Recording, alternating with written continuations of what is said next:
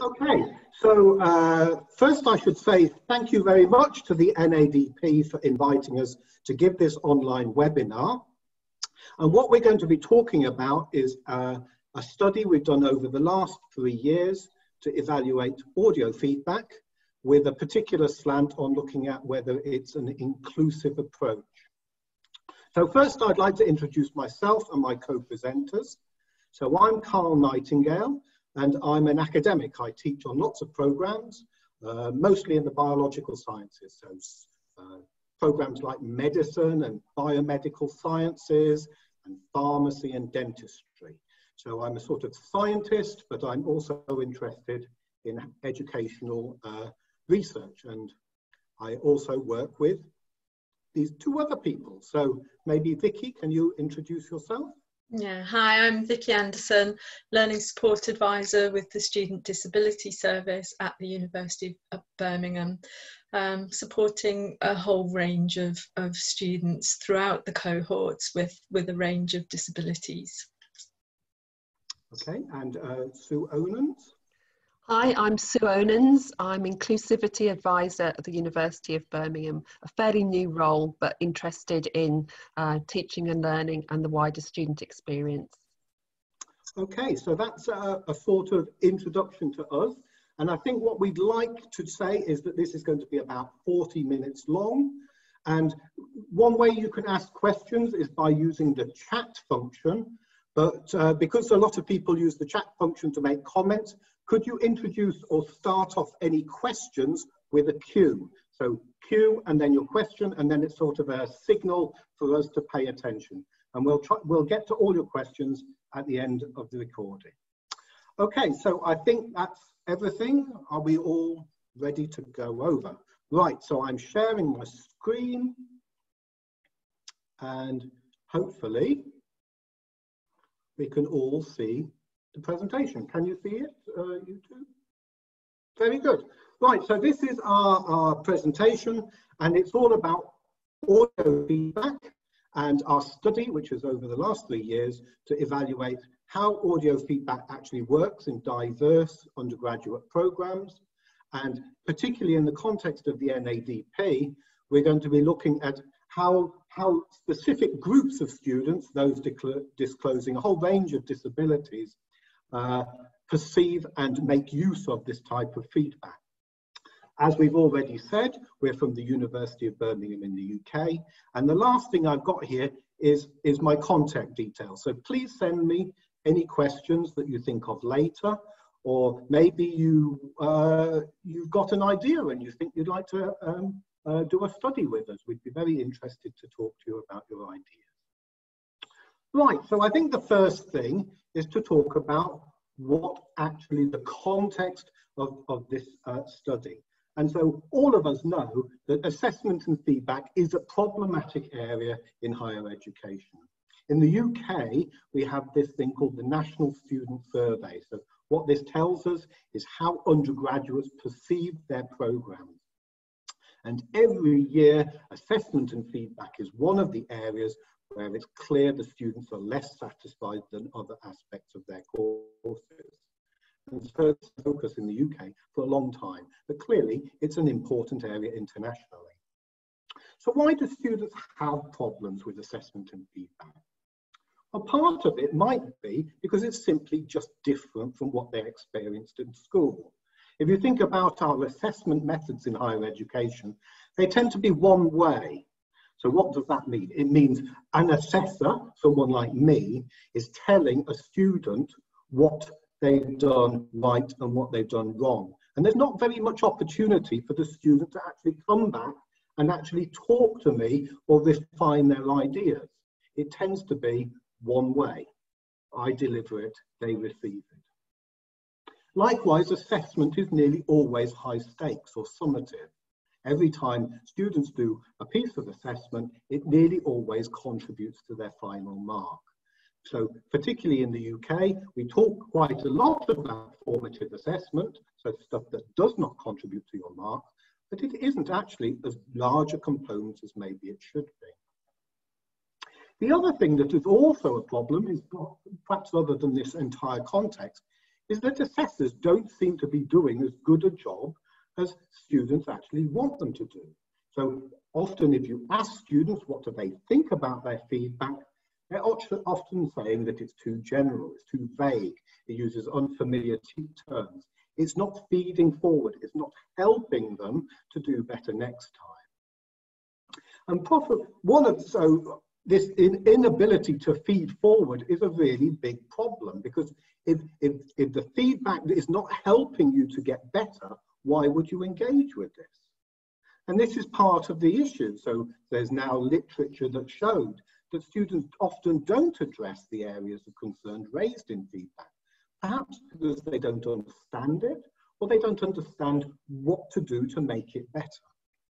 And another aspect uh, about students is that they don't, they can't look at their own work and give it a mark that is close to what an assessor was.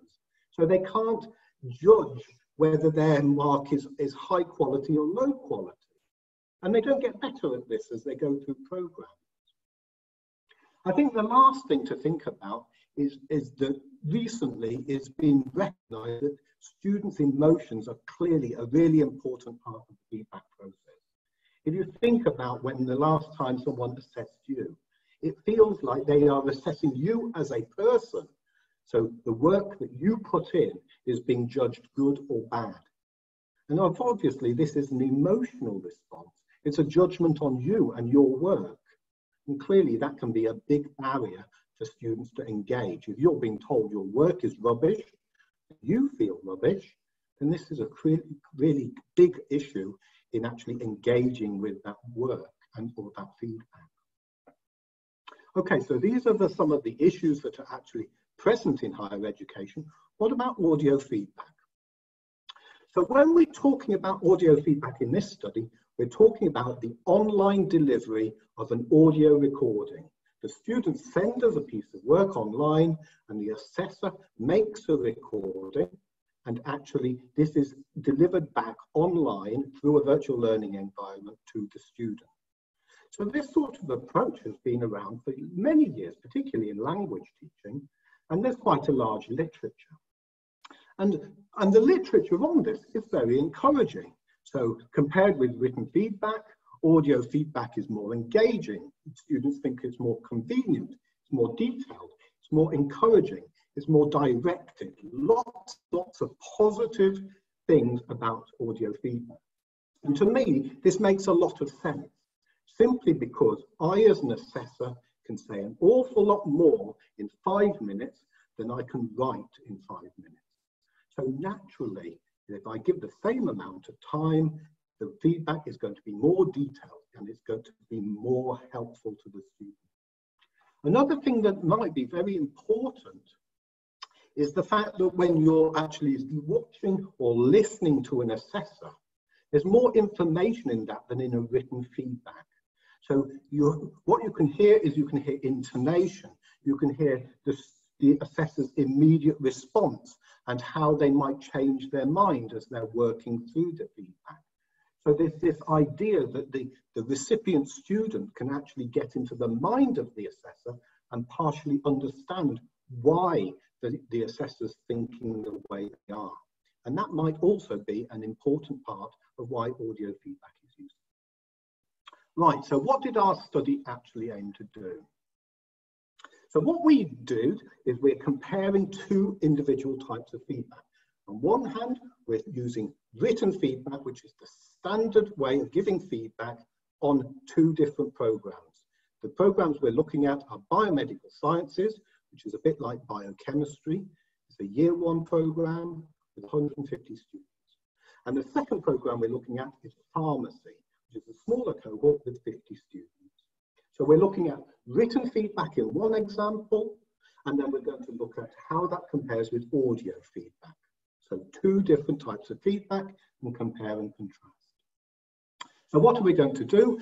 Both of these types of feedback are going to be submitted and generated online and assessors mark them using SpeedGrader, which is a sort of standard tool on our Canvas VLE.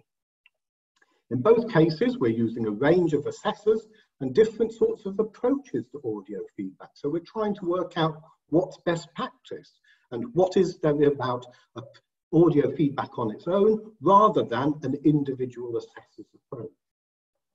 We used two different questionnaires, one which was asking students about written feedback and one about audio feedback.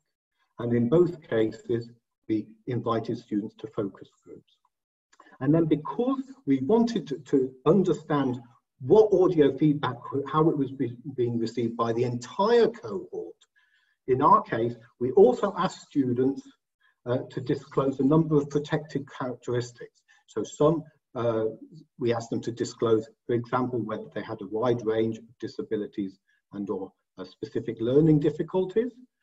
We asked them to identify their ethnicity and we asked students that were international or non-English speaking backgrounds to also identify. So what this means is that we can hone in on these students and their perceptions as well as looking at the general cohort. Right, so let's go into the data. So I think the first thing is to look at how written feedback is actually being perceived on a number of different programs. So what we've got here is two different programs. In this case, it's a postgraduate program. And in this lower case, what we're looking at is year two pharmacy. And we're looking at students' comments at different stages of the feedback process. So the very first column here is did the students read the assessment guidelines? And if they said yes, it's a green tick. And if they said no, it's an orange cross. And then we asked, were they satisfied with their mark? Did they engage with the feedback? So did they read it fully and think about it? And then did they actually rewrite, read it prior to the next similar assignment? So are they using it in the long term? And what you can see is as you go through this feedback process in both programs, what you start off with is a high level of engagement. In this case, 95% of people are looking at the assessment guidelines. But once you give them their feedback, you start to get a significant percentage of the cohort are not happy or they're not satisfied. So you can see in postgraduates, it's about 20%. In year two pharmacy, it's around 30% are not satisfied with their mark. And what this tends to mean is that those students do not engage fully with their feedback. So we have a higher percentage of students that are not engaging with that feedback. And then later on, when it comes to a later assessment, that ideally this feedback would feed forward onto, they're stating, or a significant percentage of the cohort are stating that they're not looking at it again and they're giving us reasons. So roughly 20% in this case are saying the feedback was not to hand or they forgot to use it. And what is even what more worrying is that a significant percentage of these students are saying the feedback was of no use or relevance. So basically, they're dismissing it. They're saying it's of no use to them. So clearly, we've got problems in these two programs in the level of satisfaction and engagement with feedback. And these are fairly typical. We see this in quite a few different programs, even in postgraduates that you would expect would be maybe a little bit more academically literate and a little bit more literate about the assessment process. So there are clearly barriers with written feedback. Right, so let's try and understand what those barriers are. So the first thing is we ask students, well, why are you dissatisfied with your mark? So here we are, you've got a set statement. I was satisfied with my mark, and we're looking in biomedical sciences, three cohorts, so this is 351 students. And when we asked this question, were you satisfied with our mark, your mark? 39% of the students said no, they were not. So why were they not happy with their mark? Well, for a range of different reasons. Some of them, the majority, said that the mark was lower than they were expected, or that it did not recognise the work they put in, or it did not recognise the quality of their work. And some students, 7%, said the assessor was biased against them as an individual.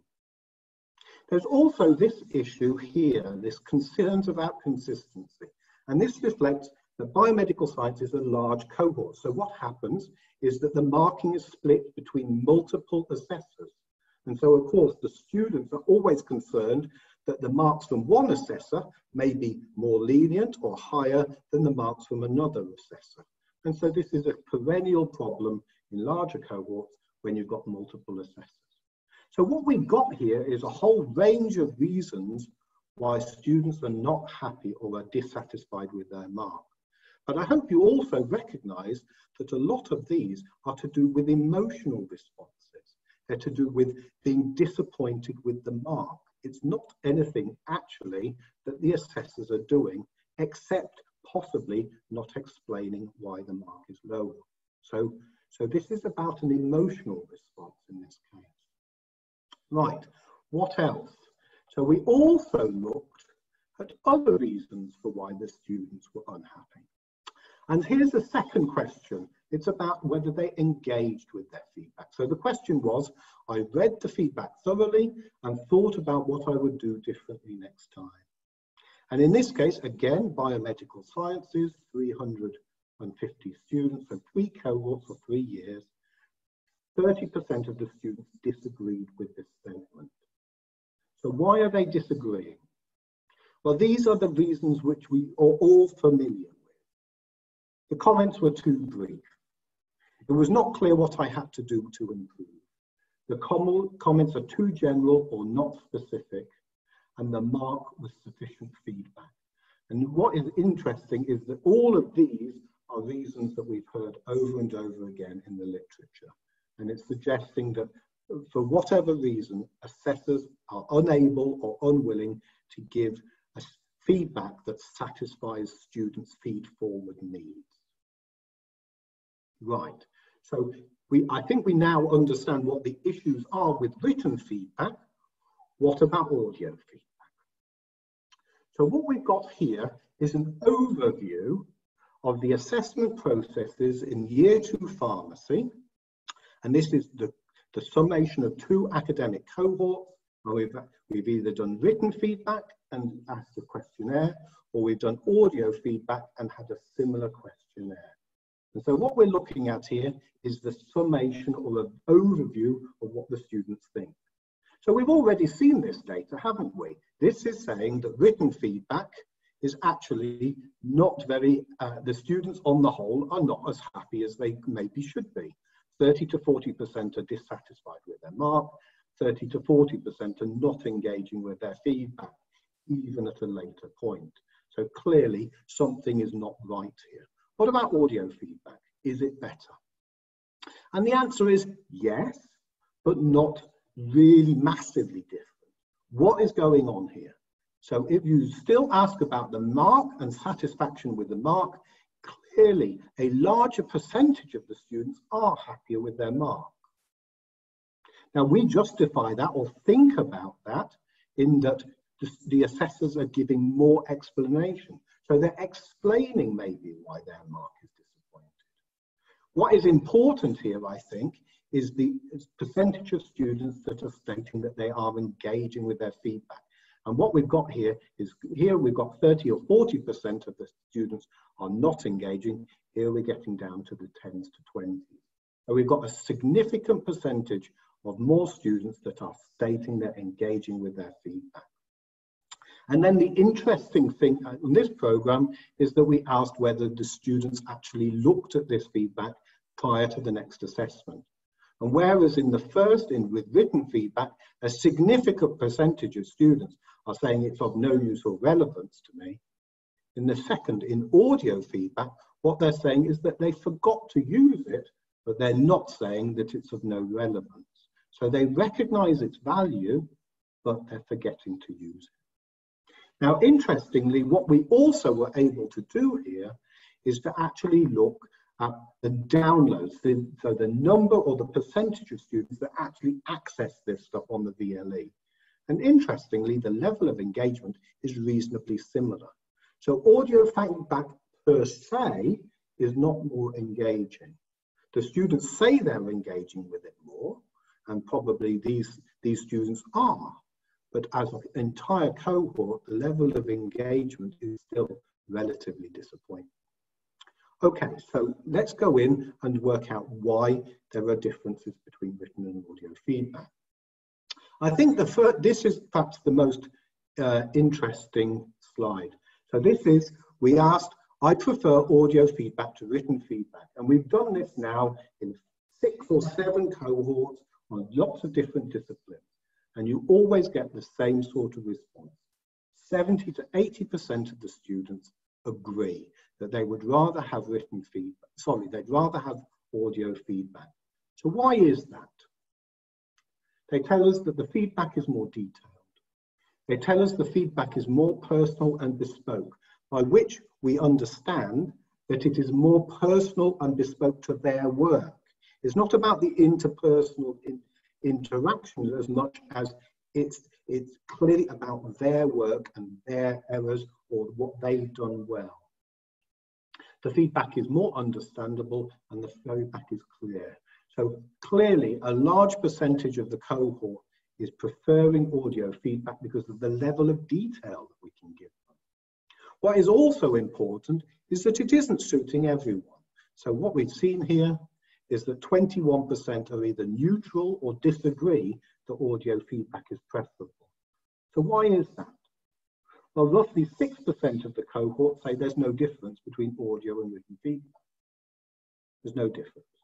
And then interestingly, it's always the same. 10 to 15% say that they would rather have a paper copy and that they can reflect more easily on written materials. And this is what they're not getting when you get a, a, a recording on, on, online. Now, the worrying thing in the context of the NADP, of course, is who are these students? Could it be that these students are the students are the ones that are disclosing SPLDs? Are we actually creating, solving one problem and creating another for another class of students? So this is what we also focused in on. Right, so to, to, to, then we went into focus groups, and we've done quite a lot of focus groups to try and understand what students tell us, why is it that audio feedback is better?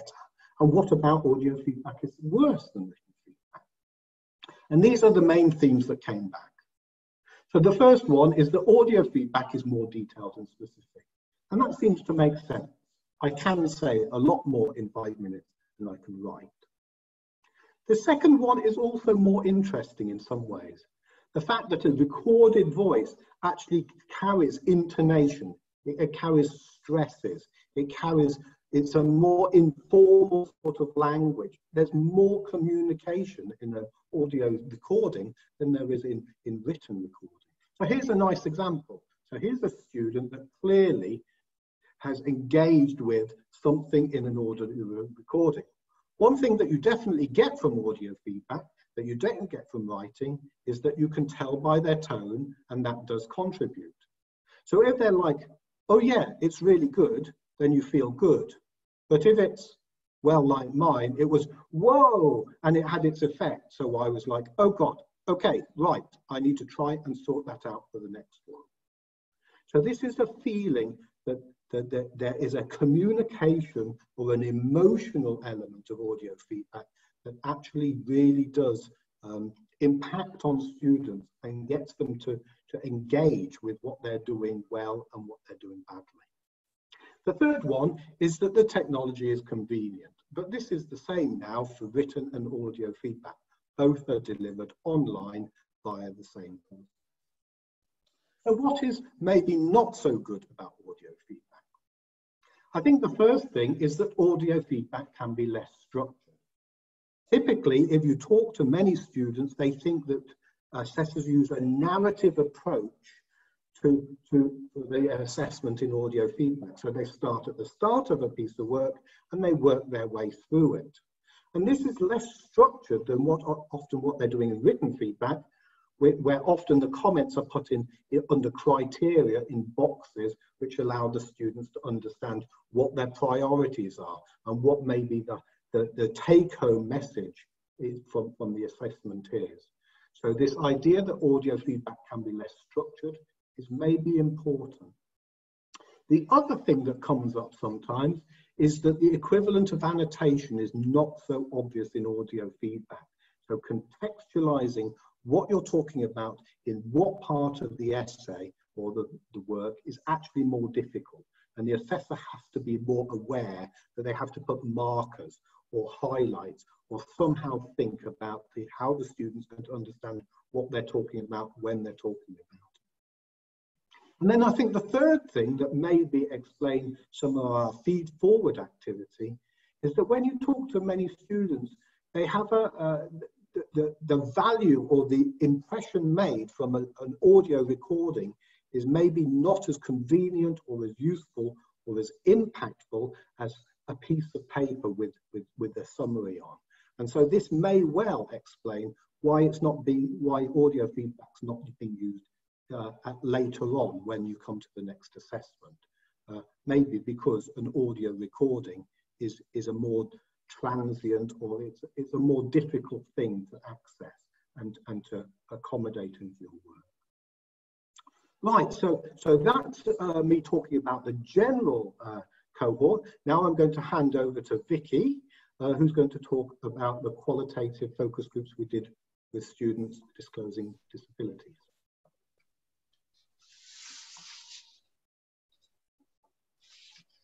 Okay, so it's interesting to give you a flavour of the student voice and what our students disclosing disabilities said about the, um, the experience of having audio feedback. All of the um, focus group members talked about the, the lack of detail or the, the amount of detail in their feedback and also the importance of contextualized feedback. So um, it was interesting to see a comment from um, a student disclosing mental health difficulties where they said, sometimes I'd write something and it would be good, but they tend to expand more on the bad points. I need to know why it's good so I can apply it next time some commented, or several students um, commented in these focus groups that written feedback can be impersonal and that they often felt that the same statements could be made to multiple students. Some of our students commented that um, audio feedback was an improvement because of the specificity and because of the use of examples um, that gave them clear points as to where their work could be improved. Can I have the next slide, please? Students that we spoke to um, who disclosed dyslexia um, referred to the information processing, working memory side of things.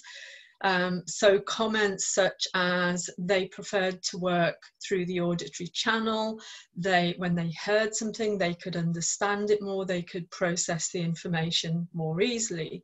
So in my head, I'm more likely to remember somebody talking. It sticks more with voice. I forget what I've read easily.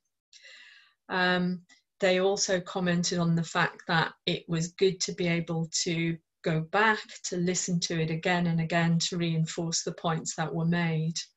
However, some students with dyslexia commented that they needed a visual example and they needed a concrete reference to go back to because they didn't remember everything that had been said.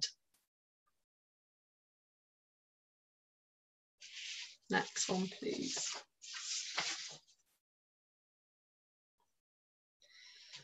A comment from um, a student um, disclosing mental health difficulties was that when they'd received written feedback, they found it sort of bit anxiety making to to go and approach the lecturer afterwards and say can you expand on this point that you've made? And they commented that because the audio feedback was more detailed, because the points had already been expanded on in the audio feedback, they didn't need to worry about arranging to see the lecturer or communicating with the lecturer and asking them to expand in that way. So it reduced the feelings of nervousness because they knew it was all there and they knew they could re listen to it in their own time. Um, again, being able to listen again and the contextualized nature of the feedback was um, regarded as being a benefit by some students. However, some students disclosing dyslexia commented on how difficult they found it to process verbal content and when they were just listening to somebody it wasn't enough for them. So various pros and cons were voiced by our students declaring disabilities. Um, the comments from students with dyspraxia were particularly interesting. They tended to revolve around structure. So, for example, a student said, um, when somebody talks, they're not using bullet points.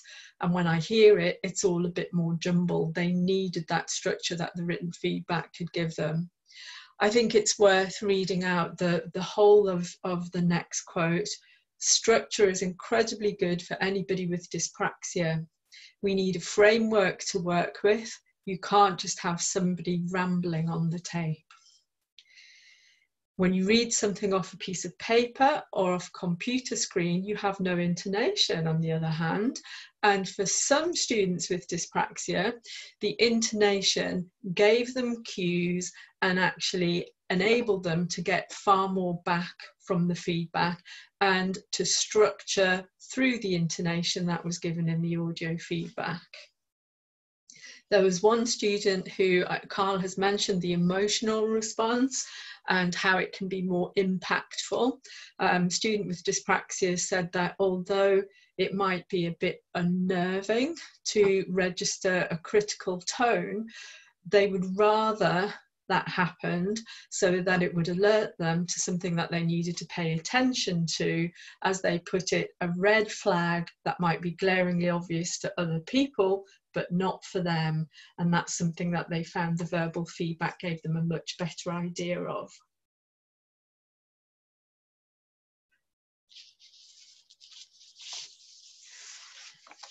One of the dyslexic students we talked to, interestingly, said that they listened to the audio feedback, typed out what had been said, and then had it in written format for the for the next time they were preparing an essay. So in actual fact, for them, it ended up being written feedback. Some students with specific learning difficulties said that they might benefit from having a combination of audio and written feedback, given that there were positive and negative aspects to each and some commented on the benefits of being able to see the essay actually being or the work being marked up as the audio feedback was being given. So I'm just going to hand over to Karl now for him to, to sum up some of our findings. Okay, so I think the last thing to do is to talk about how, how Audio and written feedback compare when we're thinking about student satisfaction and how much students actually engage with the feedback. And what we've got on this graph is an indication of how this is perceived and the differences between different components of our diverse cohorts. So what you can see here on the right is we've got different categories of students that they have either disclosed or identified as. And so there are different ethnicities here, but also we have students that are identifying as either international students or they're disclosing a wide range of uh, SPLDs or disabilities. And so I guess in this context, we're going to be talking about these students, the red dots. So if we look at here, what we've got on the left is we've got satisfaction, student satisfaction with their mark, with either written or audio feedback and their stated level of engagement with that feedback, again, either with written or audio feedback. And the way to look at this is to see how disparate there are with different groups of students in these cohorts. So what we have here is a large group of students that are roughly saying, well, 70 to 75% of white and Asian students are saying that they're happy with their mark. But what is also clear is that we've got a number of categories of students here that are clearly not happy with their mark, much lower percentages of, of satisfaction with their mark. And these include the red dots, the students disclosing SPLDs or disabilities. So what we have here is a, a real marked difference between perceptions with feedback in different parts of the cohort. So again, this is written feedback, but when we go to audio feedback, you can see the whole level uh, of all these students are, on the whole, much happier with their mark, and we're seeing marked increases in satisfaction with their mark. Now, how can we justify that? I think this must be to do with the explanation, the level of explanation that the assessor is giving in audio feedback. What about the level of engagement? So again, what we have in written feedback is a range of levels of engagement depending on uh, different categories of students and what they're disclosing. But again, you can see the red dots, the students that are disclosing a wide range of disabilities are towards the bottom end of the cohort. They're not engaging as much as other students. And again, when we go to audio feedback, we're seeing a marked increase in engagement, but clearly there's still an issue here. Students with disclosing SPLDs are not engaging as much as the rest of the students in the cohort. So what we've got here is a marked increase in satisfaction uh, with their marks for all students, but markedly so for students disclosing SPLDs or disabilities, and also an increase in engagement with their feedback. But again, we're not addressing all of the issues for these students. Right, so I'm going to now hand over. Oh no, we've got some one one more slide, which are basically the take homes from this study. So these are the general take homes that we think uh, are, are, appropriate for this study. The first thing is that audio feedback is very well received. That seems to be generally accepted by almost everyone in the cohort. Uh, everyone is, is telling us there's a high level of engagement with their feedback and it seems to be highly valued. And that seems to reflect the level of detail that's actually coming in the feedback. As an academic, I feel that it's distinct from written feedback. They are, a different sort of thing. It's more informal, it's more detailed. There's also a level of interpersonal or emotional uh, relevance to audio feedback that you don't give in written feedback.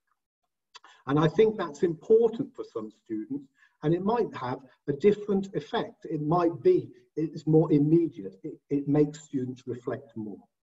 And I think the last thing is to point out that it does seem to have inclusive elements, but it, this obviously needs to be, we need to think very carefully about what best practice actually means for students uh, across the cohort. So uh, we've raised the idea that some students particularly need an explicit structure with a balance of positive and negative comments. And this is something maybe to focus on in audio feedback. I also think that one trick maybe to think about is to encourage students to, to reflect on their audio feedback. Maybe, maybe that another activity to make them identify what the main take homes are. So for allowing them to, to reflect and to add structure to what, what is perhaps a less structured form of feedback. And I think the last thing uh, that, that, people have talked about is that there are ways of using, uh, there are different softwares that allow uh, assessors to actually simultaneously mark up the script as they're talking to it. So you have a simultaneous video and audio recording. And this may well help uh, a, a large percentage of students understand or, or take home the message from this feedback. Right, and I think the last thing is to hand over to Sue Onens uh, for the general thoughts on uh, what this study shows us. Right, thank you very much, uh, Karl.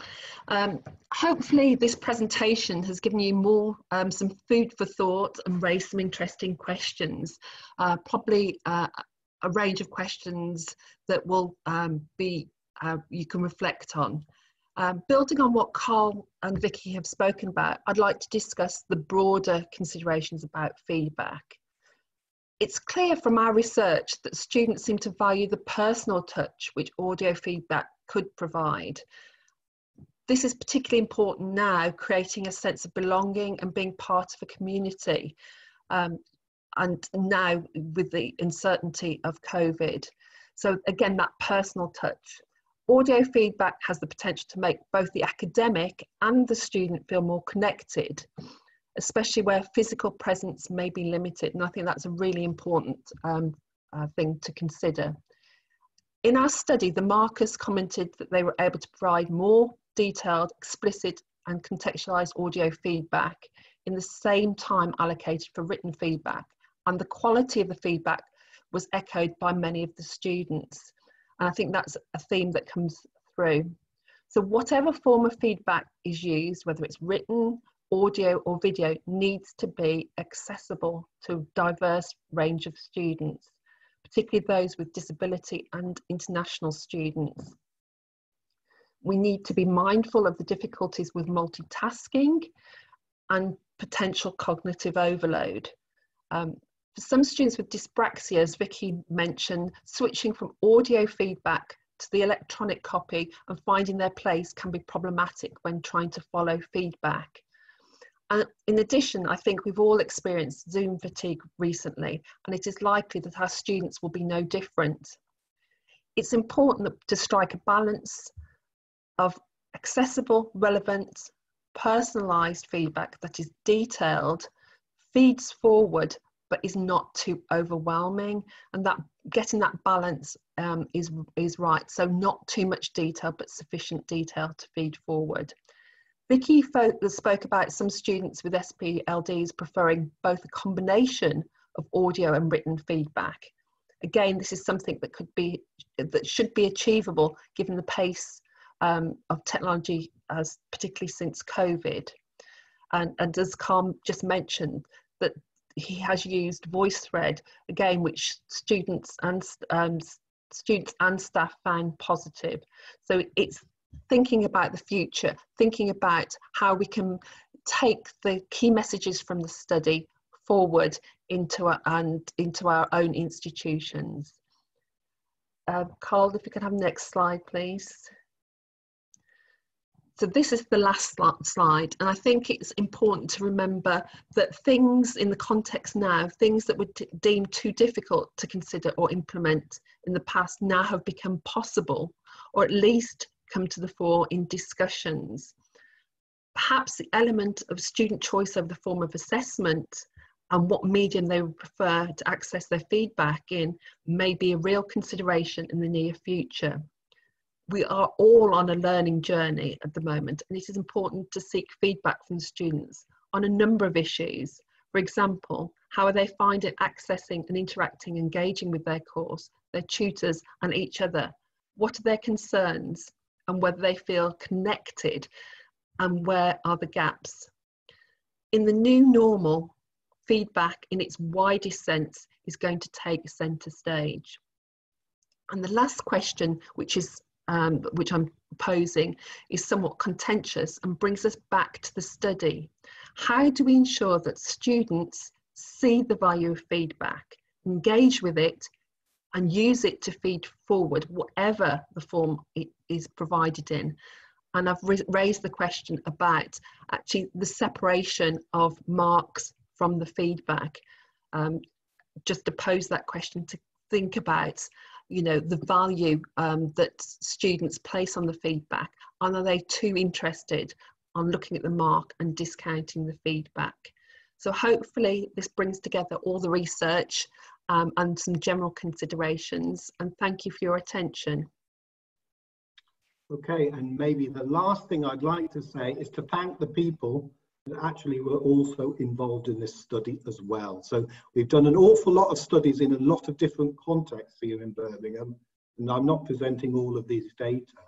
So I'd like to thank Adina Patir and Shazad Khan, who have looked at uh, um, uh, audio feedback in the context of international foundation year students. Uh, we presented some data from Andrew Soundy. This is a postgraduate physiotherapy process. We've got, uh, there's uh, Chris Slepis was one of our audio uh, assessors on biomedical sciences, and Keith Brain is another. Mary Christine Jones was an assessor on pharmacy. So the pharmacy data was generated by her. And we, what some data that we haven't talked about was generated by Emilio Swift and Chris Wagstaff in nursing, and they were the ones that used VoiceThread, um, and the students really were very happy with the VoiceThread approach. So I think uh, that's time for us to wrap up, and obviously we're very happy to answer any questions.